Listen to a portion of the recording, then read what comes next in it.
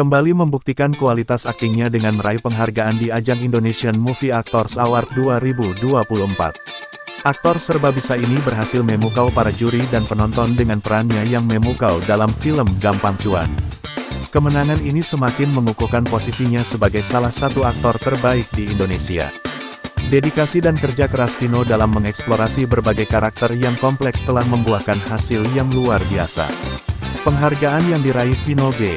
Bastian ini tidak hanya menjadi kebanggaan pribadi, tetapi juga menjadi inspirasi bagi para aktor muda di Indonesia untuk bisa meraih hal yang sama. Yuk intip seperti apa prestasinya. 1.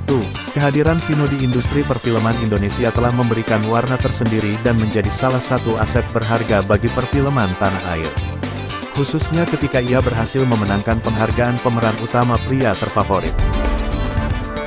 2. Melalui prestasi gemilannya, Vino telah menunjukkan bahwa dengan bakat, kerja keras, dan semangat yang tinggi, seseorang dapat meraih kesuksesan di dunia perfilman.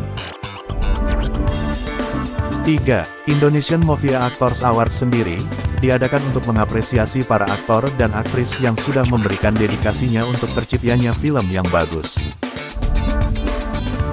4. Pasangan suami istri Vino G. Bastian dan Marsa Timothy ternyata sama-sama memenangkan kategori. Memang benar-benar panutan, selalu tampil dengan prestasi. 5. Jika Vino G. Bastian memenangkan pemeran utama pria terfavorit, Marsa Timothy membawa pulang piala pemeran utama wanita terfavorit. 6. Penghargaan yang diraih Vino G. Bastian ini tidak hanya menjadi kebanggaan pribadi, tetapi juga menjadi inspirasi bagi para aktor muda di Indonesia untuk bisa meraih hal yang sama. 7. Vino G. Bastian juga tampak berfoto dengan aktor lain yang turut hadir di ajang penghargaan ini.